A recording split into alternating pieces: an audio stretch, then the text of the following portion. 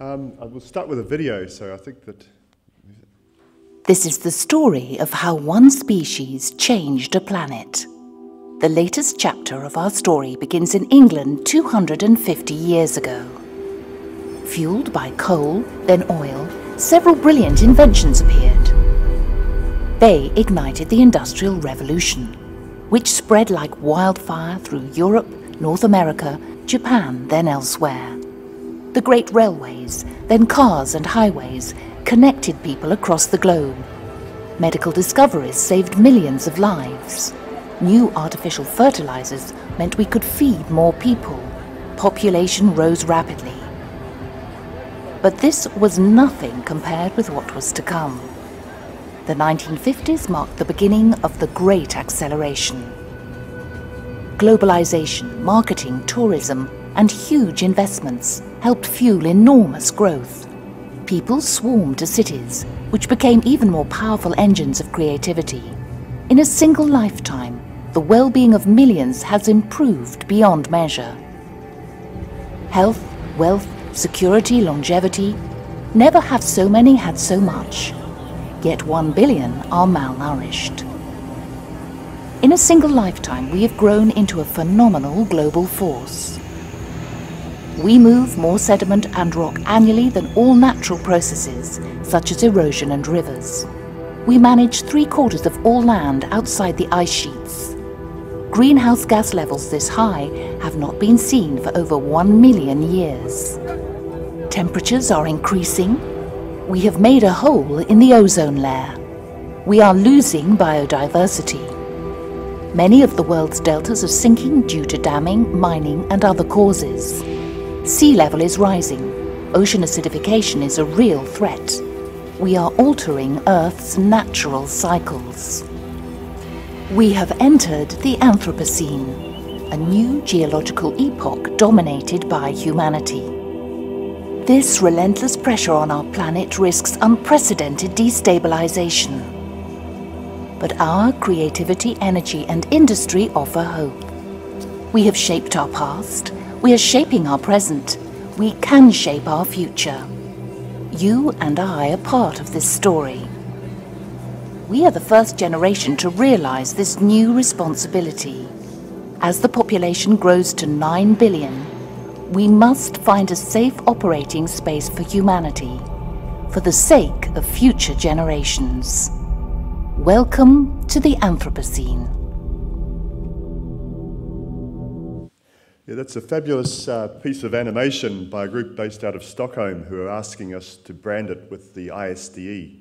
Uh, they want to see this thing going viral. They want to see this, everybody in the world see that piece. But it sets in place the uh, really, you know, the, obviously the Anthropocene, but you know, Digital Earth is the most critical project underway on this planet at this point in time. One interesting question, and again picking up from what Tim was presenting, is just when you look at just how many people have lived on, the, on Earth, and you're looking about the Anthropocene period, you know, it's 57 billion is one of the estimates, and uh, it's effectively the number of people today on the planet, in the planet today, it's, it's like we're one in eight of all the people who've ever lived on this planet. So you can look at over that sort of very long period of time of you know, 200,000 years, that we are starting to strain this planet at its seams. We're certainly having a massive impact, that has been spoken about by other sort of speakers there. One of the other interesting things is that uh, basically it took 200,000 years, or 190,000 of those 200,000 years, for the world's population to equal the population of New Zealand, a country that we call small compared to with many of the other 20 nations that you're all from here. And so this growth has been very sudden, very much a burst. This is a picture of Wellington. This is New Zealand trying to look like a big nation, but this is a marvellous photograph that was taken back in 1931, showing deep passion about election night. One of the other things that we're seeing now is that there's a you know, massive amount of information that's been captured. I took this off The uh, Economist uh, a couple of years ago, and obviously we've gone off the end of the forecast now. It's going up at exponential rates here, but you know, one of the things when you look at all the people that have lived, it's like when we're keeping information, it's not just about information about the moment, it's the information about the past as well. So there's a phenomenal amount of data that's coming through. once upon a time, particularly when you look at 3D data or also 2D data, it was all crafted. What we're now entering is a period where that data comes in as deluge. You're talking about LIDAR, you're talking about you know, terrestrial LIDAR, other sorts of forms of data, as well as all the remote sensing and imaging that many of you are involved with. And know, this data is coming in at breakneck pace, plus also the sensor webs and everything else. And uh, it's you know, saying before, it's not just about today, it's about the past. And it was raised uh, yesterday was about the importance about that whole persistence of data and the preservation of data and the challenges that we have with that, are challenges that we haven't yet quite adequately resolved. This is an image that shows uh, some of the satellites around the planet. I think there's a bit of artistic sort of merit in that, but it, you know, that's been spoken about yesterday is that we've got lots of different sources of where this data is coming from. I know with terrestrial LiDAR, some work that we're doing with NICTA in Australia, they're bringing in 10 million uh, points per second just as they drive down the street. So we're talking about phenomenal amounts of data coming through. One of the heroes of the, of the story is Ptolemy. Ptolemy, we could probably consider as the grandfather of digital Earth. And I just love this quote of his. You know, this is 2,000 years ago. So Ptolemy was a Roman citizen. He wrote in Greek, uh, but he lived in Egypt. And he said, you know, to present the known world as one and continuous, and to describe its nature and position, for almost a, a theme or a, a, goal for what Digital Earth's about. And again, you know, geography came out of this as sort of a, an idea that could help sort of you know, enable this, this, this vision that Ptolemy had. Um, Tim Foresman mentioned about Buckminster Fuller, a visionary in the 21st century, an extraordinary man. And he came up with this idea of a geoscope. And again, this is in, you know, during the Second World War. But a way that if we could put a, a geoscope together that sort of represented the planet, uh, this would be a way that we could sort of help stop some of the hostilities, we'd get a better understanding of ourselves. And as Richard McGeorge was talking about before, you know, looking at some of the social aspects and things like that, starting to really understand one another in a far more sort of communicative way. And we've spoken quite a bit about Al Gore, who in 1998 gave his famous uh, paper. And uh, again, looking at this, this thing that we have um, islands of opportunity amid oceans of information chaos. Again, those, those, those oceans are getting much, much bigger. And yeah, we've landed man on the moon, but we now must understand our footing on Earth. And again, you know, there's a huge amount of collective intelligence on this planet and how we can be bringing this together in a constructive way to do something extraordinary. And I was very impressed with the, the, uh, the youth uh, sort of discussions yesterday about looking at the differences between 2006 and today. And again, looking at the idea of networking and sort of the importance of open sourcing and looking at ways that, that we can be far more communicative there's the paper that a number of us here uh, contributed to that was published in the Proceedings of the National Academy of Sciences. Although we didn't talk specifically about uh, spatial, spatial, spatial technology, which is something that Mike Goodchild has been talking about recently, but I'll be talking a little bit about going from space to place as we, as we talk this through. An interesting map, I collect old maps, and this is one that I have on my collection. This is about 1850, yeah, 1570, I should say. And it's by a fellow called Ortelius, and he was an early map maker based in uh, the Netherlands, in, uh, in Amsterdam. And he spoke to a fellow who's a Jesuit called uh, Barbuda. And Barbuda wandered around Asia and started looking at things and started bringing information back to him. And so he would collect this information and put it into a map. And so when you look at this information there, if you look at this map, this help, may help it a little bit. You've got Malaysia off to the left, you've got China below, you've got the Silk Route wandering up north, and you've got Japan. Uh, for Kui-san here, you won't recognize your country there, and the Philippines and, and things like that at the side there. But you know, it's, it's really bringing that experience back and presenting it on a piece of paper that you could then share with others. This is far, the, uh, part of the first atlas that was ever produced. He also showed a bit of a social element in it with Titanic wagon dwellers as they, they move themselves around sort of the, the deserts near Beijing. I don't know if Guo Huadong still sees these things today, but I'm sure it's a thing of the past. But a, a friend of Ortelius was Bosch, who was a famous artist. Now, I've put this one in here, but it's really when we start looking at the way we plan cities now, It's very much like what medicine was like in the medieval days. You can have brain surgery, but you know, at these stages, they really didn't understand uh, the circulatory system or the endocrine system or the other different sort of complexities about sort of you know, uh, how our body worked. And you know, it's you know the other examples of when you're putting wasps in jars and curing rheumatoid arthritis. You know, it's this gaga that is going on now with a lot of the planning that we have today. And uh, you know, this is where this evidential sort of data sets that we can produce and manage and collate together in digital earth is going to become absolutely critical because we're going to be moving planning from medieval stages into modern information society. What's happened is really a major step was really when you look at Ortelius's work and then you look at uh, Hondius, or particularly around Mercator, Mercator came up with effectively a filing system in, uh, on maps. So putting this Cartesian coordinates in place, you could start reassembling it. So grabbing some of the material from uh, Ortelius and starting to put it on a grid. So if you struck a rock somewhere, you, you would sort of stop people from striking. If you saw a sea dragon somewhere, you'd know where those sea dragons were. And so it's, it's bringing all this information into a structured way. And so, really, effectively, what we're talking about, Digital Earth, is really revisiting this again, but taking this into that multidimensional form. As Richard McGeorge, McGeorge was talking about, you know, the five Ds. I mean, sort of bringing all these other dimensions together and seeing it. One of the, the great heroes of New Zealand history from a European perspective is James Cook.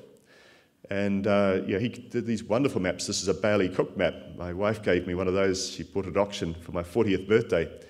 And uh, you know, it's the first facsimile, effectively, just showing what New Zealand was like. But he, he had the benefit of Harrison's chronometer, and again, starting to use this modern technology. And again, history is repeating. I mean, we've got the earlier presentations that were shown. Peter Woodgate was talking about GPS, and we're, we're moving towards getting millimeter accuracy in the next probably 20, 30 years with GPS. And uh, five millimeter. five years, there we go. It's much faster than I'm saying. So this is happening at breakneck pace going forward. But you start looking at sort of the benefits that took place basically with the chronometer and the quality of data that was collected there. Here's another map I've got in my collection. This shows Auckland. It's, it's showing sort of a, a, waterfront that no longer exists. It's all been reclaimed. And you've got sort of a, you know, the, a three-dimensional map here. And you can zoom into this map and you can start seeing people crossing the street as it was back then. And uh, I can sort of zoom in a bit here. And this is looking at around the Auckland domain, which is where Auckland was formed. So in July 1840, a domain was established. And this is actually, I should brag being from Auckland, but the, in between 1840 and 1860, uh, Auckland was the capital of New Zealand. It's no longer. Wellington is very much the capital of New Zealand now, but uh, this is basically a park that was set up. But they used the path of streams to create this, this park. And, uh, and again, these streams have been lost. They, they exist into the stormwater systems and things like that. So we don't know where those streams are today, or we do know, but they, they don't exist on the surface. And so they've been lost. But uh, some work I did a number of years ago, uh, we went off and sort of looked at uh, georeferencing early satellite, uh, some aerial uh, maps with some of the early maps and starting to relocate those trends, looking at the, sort of the, the parcel boundaries of these properties and sort of seeing them georeferenced onto these early maps. So other work I was involved with with Auckland is looking at the sunlight performance controls, and Simon Fernyhuff's here, he was working on this one as well. We set up a company in, called Cadabra in the 80s. It was one of the first companies in New Zealand to build its own 3D technology. And uh, as a consequence of looking at every moment of the year where the sun was and looking at areas with protecting the sun from 11 in the morning to 2 in the afternoon and other parks, there were 27 sunlight controls. We generated this envelope that would comply to everything and then rendered it as a stained glass window. And uh, so you could see where buildings would breach this or not, and then you could start looking at the sort of the, the rights to light, if you like, throughout it. This had a big impact because it, then it shaped this, the shape that we have of Auckland today, which is not bad as a shapely city as world cities go. We had a, a big boom in the 90s after we did this, and it brought into sort of this, this, this shape. Around about the same time, we were involved with initiating a project that's known as Sky Tower. There's a bit of an ugly looking rendering, but this is one of the very first images that we did when we were starting to locate it. We put it on a site, those of you that know Auckland, is Upper Symonds Street.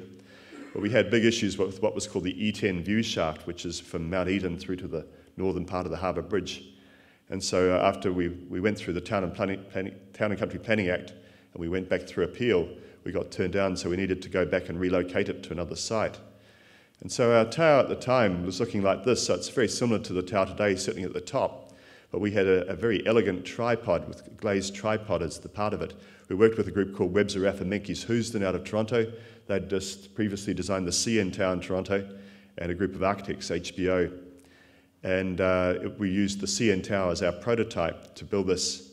At least we did so until about 93 when we had a bit of a disgruntled argument with the, uh, the developers and they changed architects. And so Gordon Moller finished the tower off. But he took our designs and then sort of made them more affordable. But I'll be talking a little bit about sort of planning there. There's the comparison of the two towers, but you've got, I shouldn't be so cynical, but it's like the sewer pipe that goes up the tower versus our elegant tripod that we had back then but it was more affordable. This, this comes back into discussions, and I think Simon Lloyd Evans' talk tomorrow is the importance of consenting sort of processes and starting to look at more efficient things because a lot of great, great thoughts and ideas get dropped off because of the longevity of a lot of the, the planning processes. Things just fall by the wayside, they get too hard to do.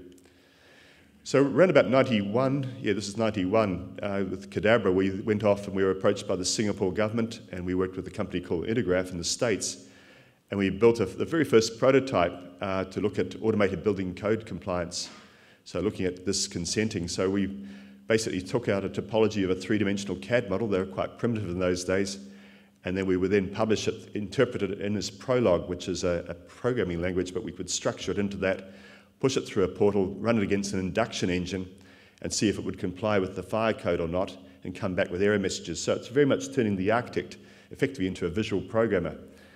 And I won't take Simon's thunder away, but you're going to see pretty exciting things tomorrow in his keynote. But uh, yeah, with BIM, in the BIM world today, which has come along since, is you're looking at you know, different standards such as IFC, and so you've got far more interoperability being spoken about, which is enabling these, this sort of type of testing to be done far more effectively. And again, in the digital, wor- digital earth sort of world, if you want to be bringing both the built environment as well as the building information models together, so you're bringing the natural and the built environments together, fusing it together to see things properly. So if you're looking at rising damp and you're looking at other issues, you know, to really understanding this, the building stock, and again, reflecting on Richard McGeorge's presentation before, if we're going to do it properly, we've got to look at things in a holistic way and start, you know, just not separating things into silos. A number of years ago, with a bunch of friends, we went off and we were sitting around having a beer And we just felt that the fellow who was the mayor of Auckland at the time, uh, John Banks, was doing the wrong things. And uh, we um, decided, we didn't like this idea of a big motorway going through a bay that uh, was in Parnell where I live. And so we sat together and we thought, well, what are we going to do? Well, first of all, we did a computer graphics image as, of, as accurately as we could show what this motorway would look like. And then after that, um, it ended up on the front page of the New Zealand Herald. Uh, we did it as a cloudy day because it wasn't sort of particularly bright future that we saw. We had a bit of a yellow tinge on the side. I don't know if you can see that on there, but uh, we were criticised for the yellow tinge. But uh, this is a big motorway that we, we decided that shouldn't go ahead. So we were encouraged to set up our own political party, which is very much community roots. None of us had any affiliation with the central government party, but we all had a passion for the city and the passion for its future. And so we put this together. None of us had ambitions to be career politicians as such, but we were just went to, anyway, we ended up getting elected and came in with a landslide victory and pushed about change. So this is back in 2004. so we, one of the changes we brought in was the Digital Earth Summit into Auckland. Another thing that I was thinking about that stage, and I was made chair of transport, which was a, a, if you ever want a job where you get more hate mail than anybody else in the country, that's a great job to have. So I was chair of transport for Auckland for three years, and uh, we decided we'd just go off and actually increase congestion and put in, um, you know, make it far more convenient to use public transport. We pushed very hard for the electrification of rail. And we also pushed for the amalgamation of Auckland from eight cities into one because basically, you know, pollution other things you, knew no boundaries. And uh, yeah, these, these weren't all necessarily all very popular things, but they've happened. And so we got it going forward. This is another initiative, and I'm showing you the National Party view. We've got a, one with a red light for the Labour Party. And uh, this is the Anzac Centenary Bridge, and I think Rachel might come up later on and show, you an interactive one of this. But uh, this is an idea of taking out the old harbour bridge that we've got, which Auckland identifies with, and put it up as, a, as a, an icon to the love affair of the private car, and put a three kilometre bridge that will allow sort of uh, can, you know, light rail and other things to cross it. So some other sections of it there, but sort of doing something that would be world class. So when you talk about computer graphics, I showed you before a vision of the future that we didn't want, but also communicating a vision for the future that, that we may want and showing bold futures. So getting these discussions going forward. And then also saying, well, wouldn't it be amazing if basically, we, because the idea that we've got there is just purely a straw man concept, but you could get people blogging and communicating in there, so you're effectively creating briefs by open collaboration with, with wide audiences of pe- people and creating like a 3D wiki to go forward and start talking about futures. Again, in that period there, we had the Digital Earth Summit, which was, we're very proud of, great success, and, and changed a lot of thinking in a lot of different ways that we couldn't have, have anticipated. But uh, Helen Clark gave a very good uh, presentation, an opening presentation at it. We had a very strong youth group that was involved with it as well. Then the America's Cup was around the same time, and with a colleague, it's, uh, Mark Thomas set up a company called Right Hemisphere. And uh, basically, from the America's Cup, doing visualizations and simulations, that he then took it to Boeing, knocking on the door of Boeing, and then built Boeing using this as a post CAD forum for dealing with massive data sets. So you've got the 777 here, and this is a 27 terabyte data set that you're publishing data in and out of. And the software was neutral to the different file formats. So if you're designing the windscreen wiper for that aircraft, you'd go in there, you pull it in and use it in, say, SolidWorks, and then publish it back into it. When you published it back into it, it then would generate this you know, computational fluid dynamics or the meshes for it and create multiple derivatives that come from it as well as animations. And so we then took that with NextSpace. NextSpace was established as a partnership with the government as a catalyst for 3D visualization. Said, look, if this works for the aerospace, why can't it work with looking at building better cities? And so we've been looking for a city to, that we can build and working with Melbourne very much in, in taking that forward and some work with Auckland. But you know, when you look at 3D visualizations you know, versus the 2D, you know, it's got a number of benefits, and again, very much part of what we're seeing with the, the Digital Earth Vision. I mean, it's obvious with, with communication we can reduce considerable ambiguity, and the presentations that Ian Taylor and, and Richard showed before are good examples of that. There's also what's very important, this is what we found from the work we were doing in Melbourne with Southeast Water, is looking at the validation, calibration, completeness. So when you're blurring the physical and digital worlds together, you can see what's missing. If you're stuck in a cartographic paradigm, you're not going to see the things that are going to be missing. It's also very powerful for visual navigation. This is why SAP went off and acquired Right Hemisphere at the end of last year, because they saw this as very powerful to be visualizing this ape spatial type data sets. So if you're looking at titanium bolts that were put together by Tim Foresman on the aircraft, you can then go off and just, just ghost those out and see it. What's also very important for us learning because we can then be mapping knowledge, semantically mapping knowledge onto 3D objects, and you can see how things can be developed and going forward with Carlo Ratti's talk talking about sens- sensor webs and sensibility, you know, sensible cities, uh, looking at sentient infrastructure and sentient cities, so alive and self aware cities. And really having 3D becomes very much the operating system for these types of cities as we move forward, where we're sort of coordinating between the spatially where the sensors are. Then we talk about simulation and output, and there's been a lot of discussion about inundation modeling and things like that. You really need to have a robust 3D model for it. But probably what's very important, it's picking up sort of the themes that I was talking about earlier, is more and more raw data is coming in in 3D. So we're getting LiDAR, we're getting sort of these UAVs or nano quadcopters. That, you know, basically, it's going to be a drone for every home in five years. but uh, we're going to get this vast amount of data that's going to be coming through. This is some work that we're doing with the Institute of Earth Science Engineering, looking at uh, you know, this deep borehole seismology, bringing in sort of data sets that are coming from that. There's some work that we did with the Institute of Earth Science Engineering looking at some of these earthquakes around Christchurch and putting three to the Mayor of Auckland and the Vice Chancellor of Auckland University looking at it there. But also in, in the area of BIM that's coming together, so we've got the sort of the geospatial world where many of us have been involved with, meeting the sort of the built environment. And again, they talk about multiple dimensions. So Richard had his 5D there they talk about, I don't necessarily agree with the way that the BIM world views, but they're sort of building upon each, each step. They're almost like Lego blocks rather than dimensions in my world, but you're sort of adding the time, it's 4D, you're adding the cost, they call 5D, you're adding the sort of the project life cycle, you're calling 6D. They're now adding the sort of the, the whole building life cycle, so the whole, what they call the carbon footprint of the building. And now they're talking about 8D as bringing whole construction safety. In essence, in the digital earth world, in fact, in Perth, we're talking 5D about the evidential aspect of the data sets, which is becoming increasingly important in this. And so, I mean, it's bringing this sort of terminology together. I've got this most fascinating project, and I think Keith Thorson's here somewhere uh, with the National Library. And we've got this uh, exhibition that's opening on the 26th of November. It'll run for, for six months.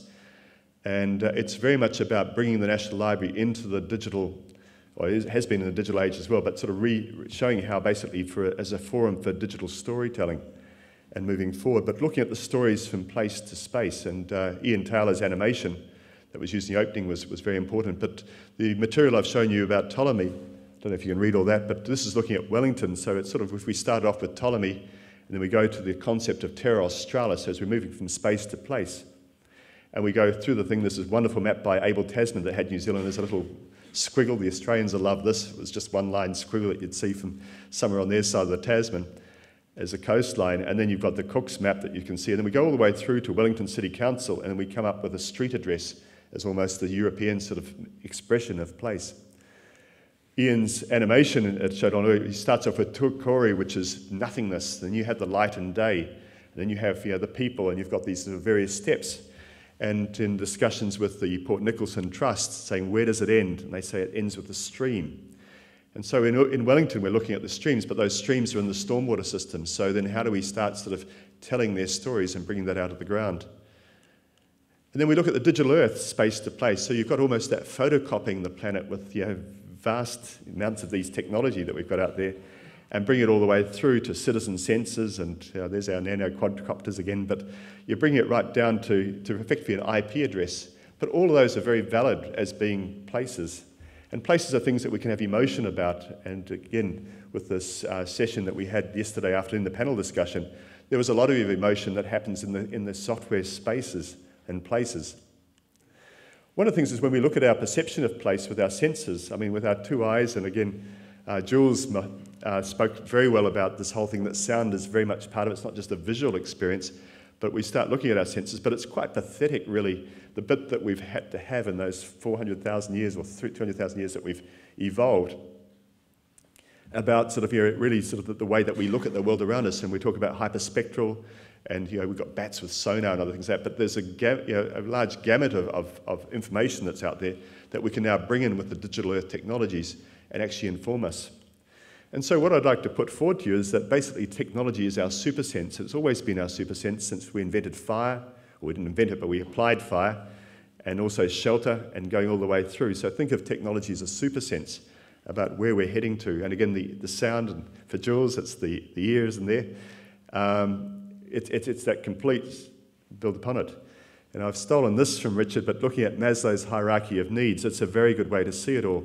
And again, how this technology applies at the physiological area, but also sort of taking right up to that whole self esteem. And again, sort of the whole enlightenment and other aspects is very important. And we've got to consider these together. It's about winning hearts and minds to actually bring it back into some of these other layers as well. So they work as an ecology together, going through at each different sort of stage. This is a National Library sort of exhibition. It's, it's going to be a good example of that. Now, here's a sort of some thoughts as we get to place. Think of it as being where we intersect with all these different ecologies. So we've got these natural resources, and Tim was touching on those, but we've got these natural resources that are critical to place. And this is how a natural system would work, where we've got place and it's bringing those sort of things together. And we have fire and other things like that that can utilize things, or we can have you know, eeling traps that can of be bringing in eels from the water and things like that. But we've got um, this, this sort of way of looking at place. Now, the next step from this is if we take place and we sort of apply our technology and we look at sort of things like the urban water cycle. So, you know, to help sort of control flooding bits and pieces, we put our stormwater systems in place, we go and put sewage systems in place, we go and put water reticulation in place and things like that. And these are great things, and they've helped us and they've dealt with sort of, you know, you know uh, outbreaks of influenza and various things in the past, and it's, it's a good thing to have. But it's a very much a static way of looking at the world. It's not a necessarily a dynamic way of really understanding it as well.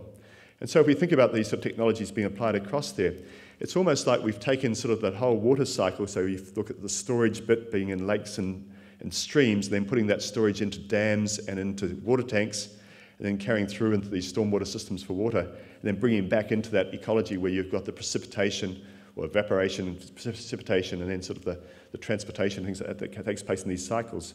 And so you've got these cycles taking place, but inside of place, we're, we're having that control of it with the way that we've always looked at technology in a very mechanized sort of way of, of seeing it. And so it's looking at these as, as twisted. But what you notice on this diagram, I've drawn it up so that you've got like an anti-clockwise twist that's taking place, a clockwise twist that's taking place in natural ecology, but we twist it around like a number eight and showing it as a clock, an anti-clockwise twist that we take place within the environment that we've reinvented, these natural ecologies inside our own place. Now, if we go to the next stage, and we'll say, well, what's, what's the digital earth about?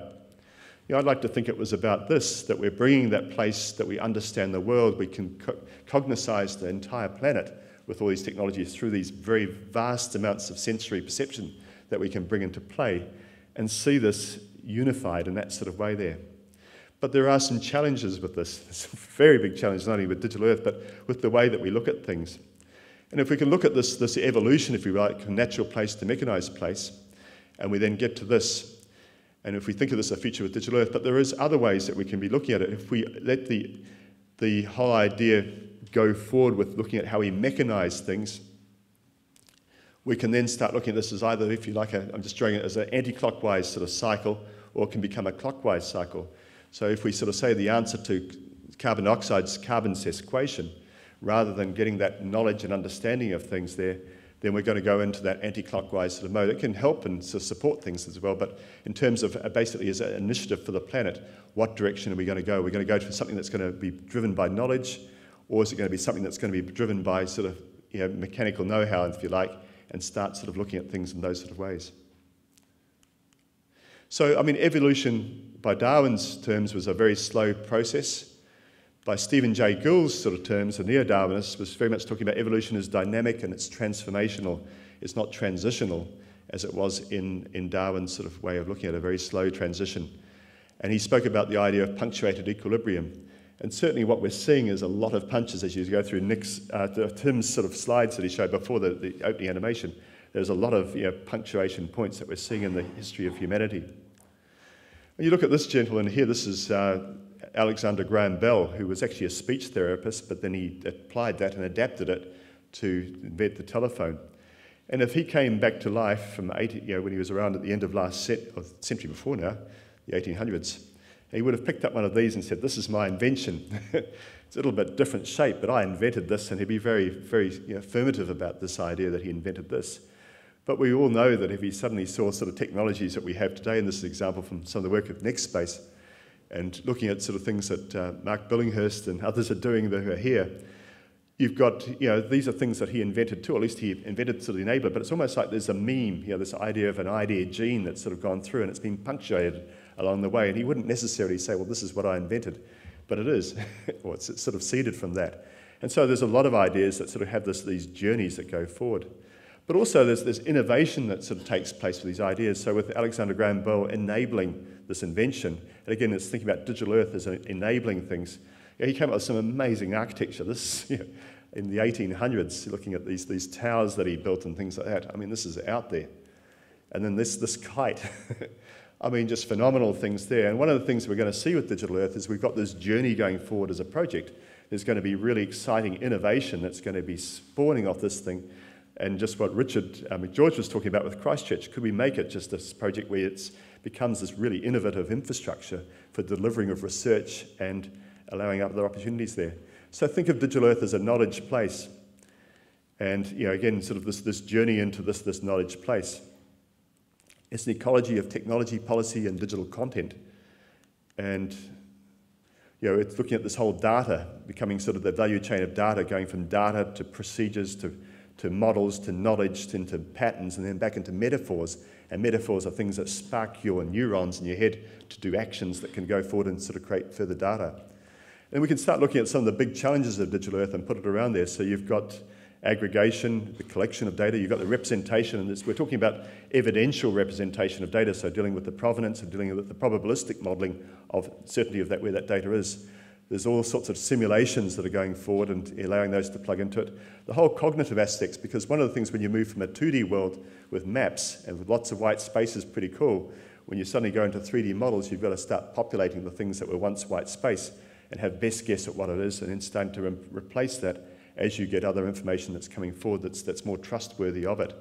And so you've got Bayesian nets and evidence belief functions and various things that we could be putting in there, which are very, very exciting you know, um, research areas. There's the dissemination, and then back into the most important area, which is the people part. It's the socialization. In fact, I was going to put the actuation there, taking a term from Carlos yesterday, but it is that. It's actuation and sense, and with the senses down there. But then when you look at this whole thing there, we've got, and uh, see Liz March in here, but with ANZLIC and standards and protocols are very important, allowing that interoperability. Again, this is something that Simon Lloyd Evans is going to really be punching out, I'm sure, tomorrow in his talk. The other important thing is looking at these different ontologies, and I think Peter Woodgate introduced us to ontologies yesterday, but looking at the ways that we can express this data for the different types of purposes. If we're looking at economic modelling or social modelling, but we're, we're pulling the data from the common data sets and seeing how it can be applied, looking at the snap and span sort of uh, approaches to things. There's lots of domains, obviously, with Digital Earth, it's, it's exhaustive. But the other exciting thing, I think, is also looking at regulation and policy.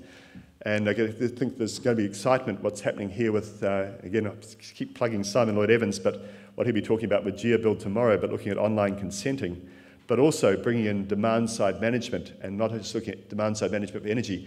We've got to have the carrot and stick type policies about bringing quality data sets that are going to come through this and allowing this quality data to go through and be pushing this as an ecology rather than just as a, a linear thing that just like an arrow that just goes into the flesh. It's got to be an ecology that's alive and living and it's very much the, the nervous system for our planet that we're building.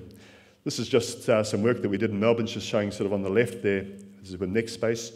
Uh, this is looking at bringing LiDAR and some other data. We had hyperspectral and other sort of data sets generating sort of the Melbourne above the ground, below the ground. Below the ground, we started off with geomorphology and just algorithmically generated where the rocks were. Then we added bore the borehole data, so another level of truth. Then we added then sort of you know, ground penetrating radar and then starting to then observation things like so these new truths, just getting this knowledge of the rock underneath the ground closer and closer to the realities of what they're today. Then we could then slice and dice this into these little sort of bits for every individual parcel and show what each, each property looked like in 3D interactively. Then you can be generating from those for every individual property into a 3D PDF showing sort of how this thing could be installed, this pressure sewer system, or how it could be operated, or just communicating information there in a very you know, you know, simple way. Also, looking below the ground with you've got the trees, and you can be parametrically generating the roots. So, looking at the probabilistic models of where the roots are and their impact with the infrastructure and rocks, which is obviously a very important thing there. But you know, there's, there's a very rich wealth of data, and this is a very you know, simple example of other things that can be done. Again, looking at this sort of the probabilistic modelling about where the rock is under every individual property. When they're rolling out the pressure sewer system, it's $60,000 if they strike rock and 2,000 if they don't. So it's very important to know where the rock was and they had this public-private partnership, so to give that transparency to that, so they could look at sort of the way that they'd be working with this TOC approach they took. Again, this is ground-penetrating radar, bringing other sort of data into it. But uh, this is some of the work, and Rachel's sitting here. She's done some marvellous things. You have a look at her sort of presentations later on. But again, looking at cities in ways that, you know, really make sense to us interactively that we can do today with big, big data sets. And in creating derivatives of those models for every individual property. And then you can be punching it out into a games engine, which we did here, and just put a fire scenario around the viaduct of Auckland. And so it's, it's having things in a common forum that you can be sharing. And just looking at sort of, you know, again, Digital Earth is this very complicated ecology, but we can sort of be breaking it down in steps. If we go back to this diagram, I mean, the first thing is just starting to look at multiple feasibility prototypes. You just prototype. I mean, Carlo Ratti gave excellent examples of what you can do with rapid prototyping we should be rapid prototyping Digital Earth around some very good use cases and uh, then starting to bring that together. So getting these things done in a few months and just applying them and then getting that feedback and then we start bringing it into it. Quite often they'll be just sort of these point solutions, but then bringing those together into a common forum. Then we should be taking those rapid prototypes into functional prototypes and starting to deal with that evidential sort of representation of the data sets. And so we have much more reuse of that data and it's, it's starting to bring in further disciplines into the management of those data sets. Then it's looking at then integrating these, these systems with, with simulation and other types of systems that the, we can that use to inform and, and bring as part of that whole sort of ecology. And then it's starting then getting into the more serious sort of science of it all. And so looking at you know, volumetric and other types of data sets that we're starting to look at and uh, having ways that we can navigate into each one. So just sort of bringing that together, the top area there is very much about the citizenry and the socialization, the access to this data, the openness of this data, it's very important. The bottom part is very much about science, and again, it's looking at publishing direct science into these models So it is scientific, it's robust enough that you can be making decisions from the data that's there. And the middle part is about governance, and it's probably a, a, very thin middle part that, that's there, but it's important to have these interoperability standards and it's important to bring in these, these policies that can direct things. And again, we should be looking at this as a, a knowledge accelerator. You know, you can imagine this can becoming a, a major amplifier for knowledge to go forward. And again, looking at the cities as a starting point. So I just want to, just in the final steps, just talk some, about some work I was involved with at the Bioengineering Institute. So I worked with them for several years and was head of innovation. There's a group in Auckland, we had 130 researchers there. It's headed by an amazing fellow called Peter Hunter. Peter's the chair of computational physiology at Oxford, but also the director of the Bioengineering Institute at, at Auckland. He's a, a mar- marvellous human being. He was going to be here to speak actually, but uh, unfortunately there's huge demands on his time. He's somewhere in Europe at the moment, uh, but he spoke at the, the 2006 summit. But uh, their, their, vision is to create the new human potential for looking at modelling, looking at drug discovery and drug testing, and again, sort of dealing with these big data sets. So it's really sort of where the, you've got the Human Genome Project was very much getting to the level of the protein. So it's looking at the base pairs of DNA. And, uh, and then when the Physiome Project starts off at the protein level, and goes all the way through. There's a few little other sort of sub projects there, which are all quite significant, but the trans, transcriptome and these other ones, the proteome, are ones that are dealing at that level and going forward. So it's looking at these steps. So it's very much like what Digital Earth is, if you think about it, but we're the next stage of that. Again, it's the same things. I mean, many of you involved with the same things, you know, getting image data, segmenting image data, looking at computational meshes, and then getting these biophysical models where you're looking at the attenuation of current through tissues and, and various things. And we, we love sheep in this country, for those of you from the 20 nations that are from here.